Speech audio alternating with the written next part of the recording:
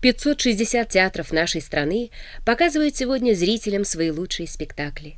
На 46 языках народов и народностей Советского Союза идут сегодня пьесы о героях революции и героях Великой Отечественной войны, о наших современниках, рабочих и ученых, партийных работниках и деятелях культуры. Эти кинокадры сняты в Ташкенте. Сегодня на сцене Узбекского академического театра драмы имени Хамзы идет спектакль «Заря революции», рассказывающий о событиях 1918 года в Бухаре.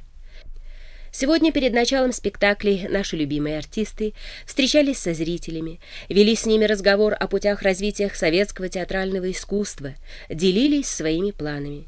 А ведь нынешний день театра проводится у нас под девизом «Театры страны навстречу 60-летию Великого Октября».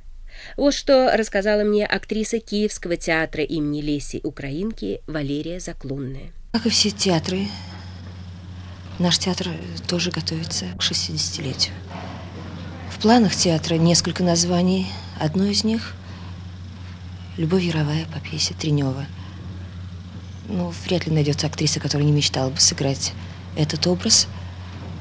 И вряд ли найдется театр, который бы не хотел, чтобы на его сцене была такая прекрасная пьеса. Пьеса, которая, на мой взгляд, сейчас сейчас может читаться совершенно по-новому. Совершенно. Это очень психологическая, очень глубокая и очень современная пьеса. Валерия Гавриловна, сегодня Международный день театра.